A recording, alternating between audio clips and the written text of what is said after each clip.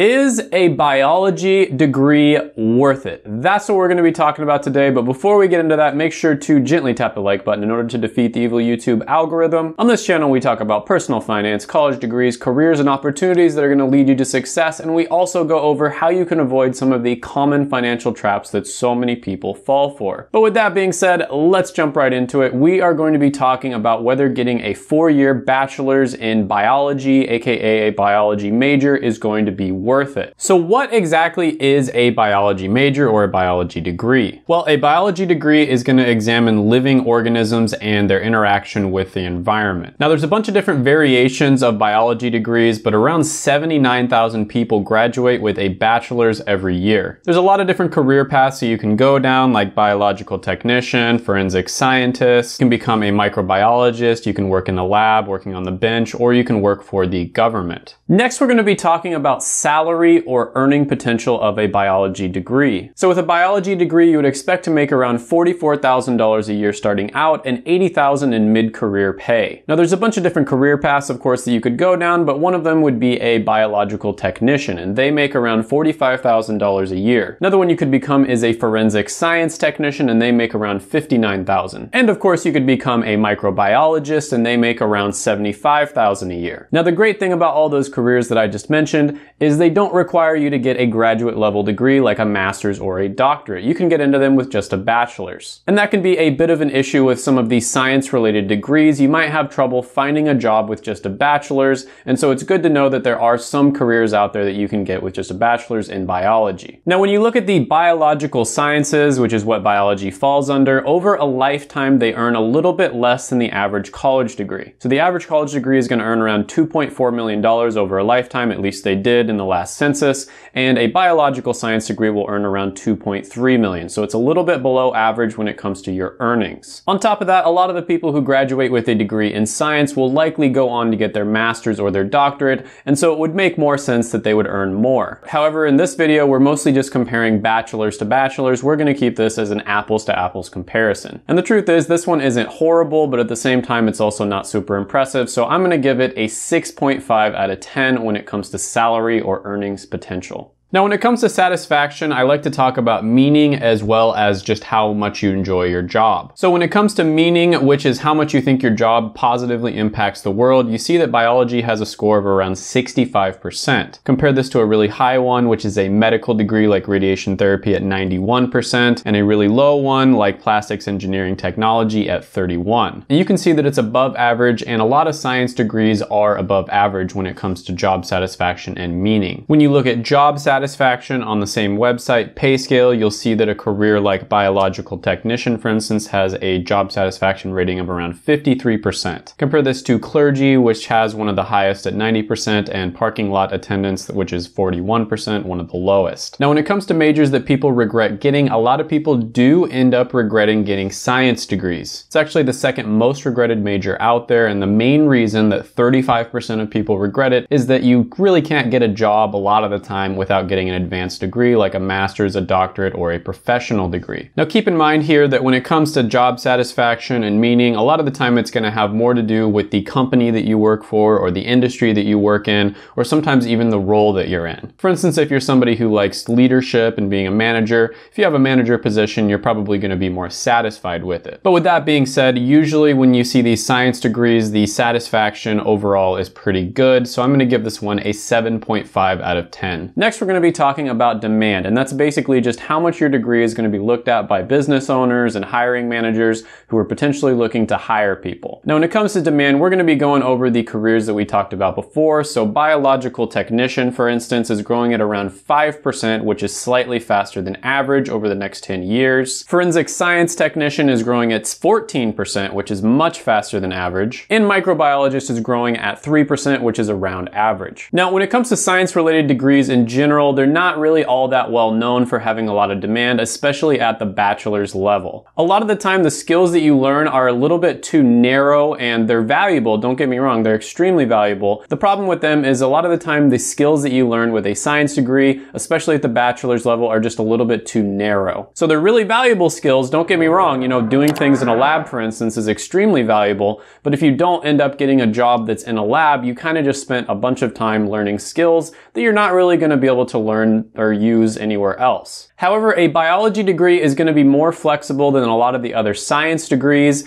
And so one test that I always like to do is to look up the degree on monster.com or indeed.com. So for instance, when you type in biology degree as a keyword on monster.com, around 19,200 jobs pop up. Compare this to one where there's a lot of job postings like computer science with over 140,000, and then one where there's not much demand like anthropology with less than a thousand. Now, when I was doing research on this one, reading a bunch of different forums and different places where people who actually have biology degrees kind of give their experience, I found that a lot of people were pretty disappointed. And I think the reason for that is because people think that all STEM degrees are going to be fantastic and biology is a science degree, right? But the truth is, compared to the other STEM degrees, science is not nearly as good as technology, engineering, or mathematics when it comes to the numbers. So I'm going to go ahead and give this one a 6.5 out of 10 when it comes to demand. Now, when it comes to X factors, you can see that the US Census Bureau shows that all college degrees in all different professions makes around $2.4 million throughout an entire lifetime. If you get a biological science degree, which is what biology falls under, you're going to make around 2.3 million, so that's probably a little bit below average. ZipRecruiter has a skills index list where they basically rank different skills and how valuable they are on the open market. So how much are companies willing to pay people that have specific skills? This isn't necessarily how valuable the skill itself is. For instance, I think art is extremely valuable, but a lot of companies are not going to be willing to pay people for their art. And so you're going to have to figure out how to make money with it in a different way. So, you, you know, maybe start a business, something along those lines. But with that being said, biology did come in scoring around 60 out of 100, which is pretty good. Software engineering came in as the highest score at 88 out of 100, and an example of a really low one would be industrial sewing at 8. When it comes to your chances of this being either outsourced or automated, it's somewhere in the middle. It's not really bad, but it's also not that great. So for example, if you wanted to become a biological biological technician, there's around a 30% chance that it might be automated. You might be replaced by robots. And that was from a study, of course, but a human poll of people who are actually in these types of careers and what people's opinions are on it showed about a 57% chance. So there's a lot of people who think this one might be automated. And one issue with science related degrees is, like I mentioned before, a lot of them you're gonna have to go to school in order to get a job for. It can be very difficult to get a job with just a bachelor's level degree. And a lot of the specific skills that you learn are valuable, don't get me wrong, but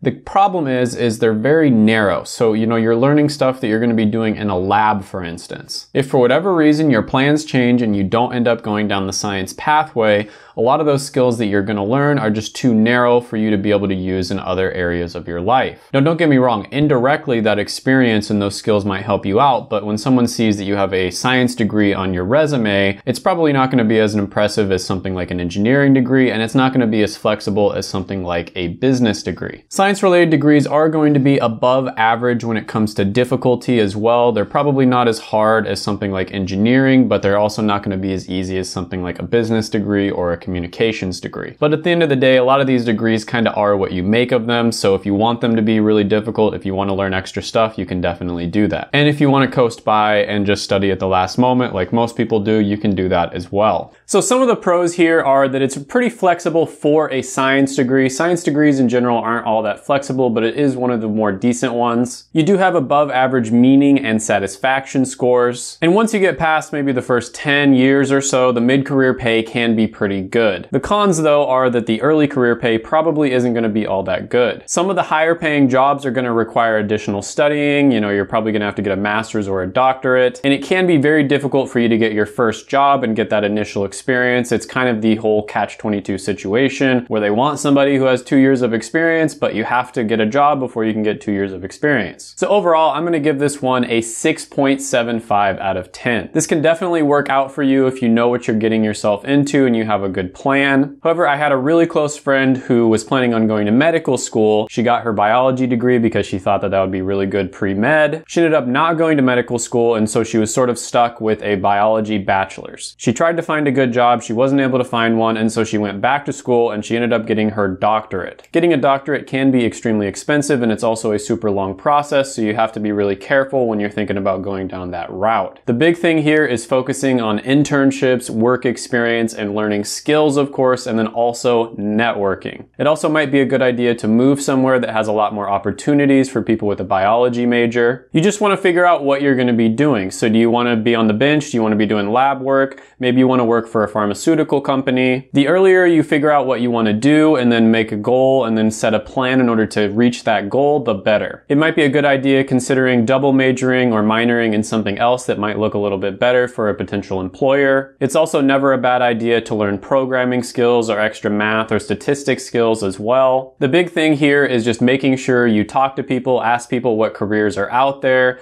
you know, talk to your university professors, go to your university's career center. If you have a really good plan, this one can definitely work for you, but I do have to warn you that it is one of those degrees where a lot of people end up in a bad situation just because of the fact that they have trouble finding a job with just a bachelor's. And a lot of the jobs that are out there with just a bachelor's don't pay very well. They might pay like, you know, $14, $12 an hour, something along those lines. But overall, check out my college degree ranker in the description down below. It'll make your whole process of figuring out what you want to do extremely easy. If you haven't done it already, go ahead and gently tap the like button, hit the subscribe button, ring the notification bell, and comment down below any thoughts, comments, criticisms, etc. Especially if you're someone who graduated with a biology major. Share the video with all your friends as well well. And whatever you do, don't leave. Check out my other videos right here. I made them just for you.